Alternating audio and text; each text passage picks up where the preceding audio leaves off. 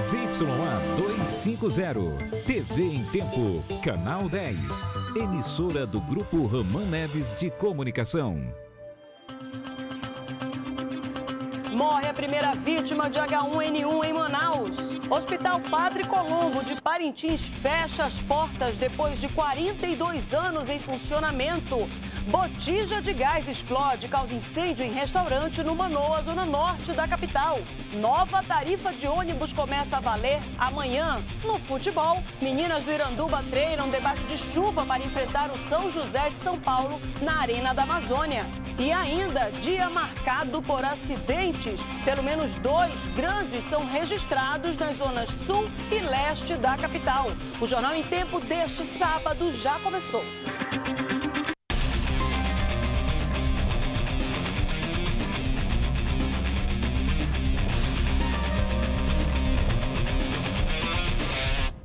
Olá para você que acompanha o Jornal em Tempo pela internet. A gente começa essa edição falando de um assunto que tem preocupado. H1N1. Uma mulher morreu vítima da doença. Foi a primeira morte por H1N1 registrada aqui na capital. O repórter Danilo Alves traz os detalhes. Pois é, o caso foi notificado por um hospital particular em uma paciente idosa. Ela já chegou na unidade hospitalar em estado grave e morreu essa semana. De acordo com a Fundação de Vigilância em Saúde, esse é um caso pontual e não representa risco de surto da doença. No entanto, os órgãos de saúde estão em alerta. Houve reforço nas unidades de emergência para monitoramento e medidas contra os casos do vírus H1N1. Além disso, a partir do dia 30 de abril, haverá o período de vacinação vacinação. Danilo Alves para o Jornal em Tempo. Obrigada, Danilo. O Hospital Padre Colombo de Parintins fechou as portas depois de 42 anos em funcionamento. Em coletiva de imprensa na manhã deste sábado, a direção do Hospital Padre Colombo, da Diocese de Parintins, anunciou o fechamento da unidade hospitalar, alegando falta de repasse do recurso de convênio da Secretaria de Saúde do Estado. Nós estamos suspendendo o atendimento externo pela conta da, da falta de recurso decorrente do, do atraso nos repasses da, do convênio com o governo do, do Estado.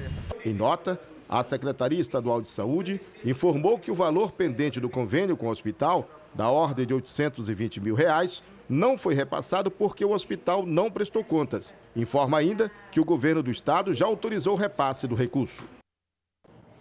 O homem que teria matado a mulher grávida de sete meses em Eirunepé foi preso na manhã de hoje por policiais do município. Raimundo Nonato Marques de Souza, conhecido como Pimpolho, estava escondido no forro da casa do irmão e disse ter esfaqueado a mulher por ciúmes. Mas a polícia diz que não procede e que uma briga foi o motivo do assassinato. Pimpolho foi preso em flagrante por homicídio. A polícia ainda procura pelos suspeitos de envolvimento na morte de uma professora. Ela foi assassinada na última terça-feira durante um assalto no conjunto Juricaba, zona centro-oeste da capital. A repórter Marquilze Pereira tem os detalhes. É isso mesmo, Márcia. As investigações continuam. Há informações da própria polícia de que pelo menos um suspeito já foi identificado, mas as equipes da Polícia Civil continuam nas ruas ainda. E a polícia ofereceu mil reais para quem ajudar com informações concretas que ajudem aí a encontrar os suspeitos de envolvimento no caso do latrocínio, do roubo seguido de morte da professora Rosicleide Saraiva Souza, de 49 anos. Um crime que chocou bastante a cidade e principalmente a família. Hoje o irmão, o ex-companheiro dela e a mãe estiveram aqui na delegacia de homicídios conversando com o delegado. O delegado não quis adiantar sobre qual foi o assunto, mas eles tiveram uma longa conversa que durou praticamente duas horas, ainda pela manhã deste sábado. Marquinhos Pereira, para o Jornal em Tempo. Obrigada, Marquinhos.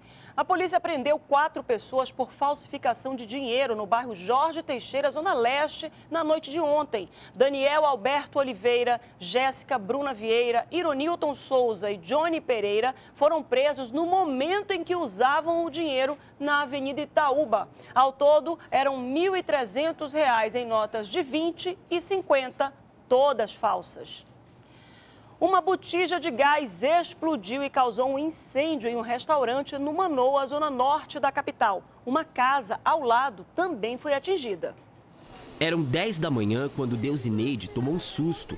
Na hora em que trocava o gás da cozinha do restaurante dela, houve um vazamento. O rapaz tinha acabado de vir entregar o gás, ao abrir, ele espirrou tudo e como é uma cozinha, né, um restaurante, já tinha fogão aceso com panelas no fogo e com aquela exalação da botija de acabado de chegar, foi quando aconteceu tudo, explodiu tudo. Acho que, por, acho que sorte de Deus a gente conseguiu se salvar, eu ia me auxiliar, entendeu? Tudo ficou destruído. O teto de PVC não suportou o calor e caiu. Deusineide ainda tentou evitar o vazamento. A gente ainda tentou amenizar, né? Tentar é, tampar aquela botija que estava fugindo, o gás. Mas quando eu vi que ela ia exalar para o outro fogão, eu saí correndo. Quando a gente chegou na porta, ao sair já, ela já estava toda o fogo já estava exalado dentro. Segundo os moradores, a viatura do Corpo de Bombeiros chegou 20 minutos depois. A rede elétrica no local foi interrompida. Ao todo, o Corpo de Bombeiros utilizou cerca de 3 mil litros de água para realizar o trabalho de rescaldo. Além do restaurante que teve parte da estrutura comprometida, uma outra casa também foi atingida.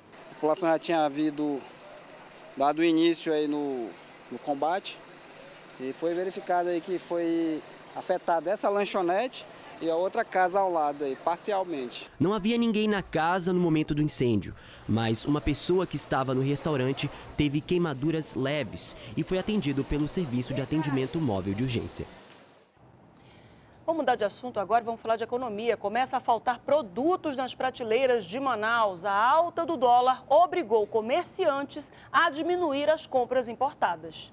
A queda nas vendas dos produtos importados tem acontecido desde o começo do ano. A alta nos preços fez muita gente optar por itens nacionais. Eu acho que está mais caro. Estou falando das frutas também ali, das verduras. A cenoura está caríssima. São poucos os que gastam um pouco mais para levar um importado para casa. É porque tem alguns nacionais que a gente ainda não encontra muito, muito similar, né?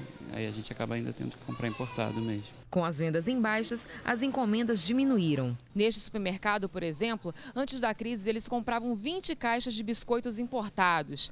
Agora, com a alta do dólar, eles estão comprando apenas 10 caixas para não faltar nas prateleiras. 50% abaixo do que a gente comprava, que é justamente porque o cliente não está comprando, tá? E a gente está comprando aquele produto de alto giro. É isso que a gente trocou a compra a gente se adequou ao mercado conforme o nosso consumidor final. Mas para alguns consumidores, independente da situação do país, da alta do dólar, o preço dos importados nunca baixam. Olha, a alta tá geral, né? Os produtos importados, eh, existe um problema aqui no Brasil.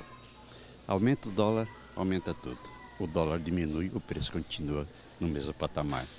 Então a diferença não está havendo, está tudo muito caro.